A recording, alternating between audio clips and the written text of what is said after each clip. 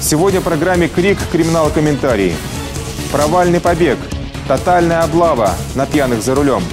Рука владыка. Бензиновая страсть полицейского начальника. Страховка по интернету. Онлайн-услуга для утомленных водителей. Не пропустите криминальные новости региона на телеканале «Юрган».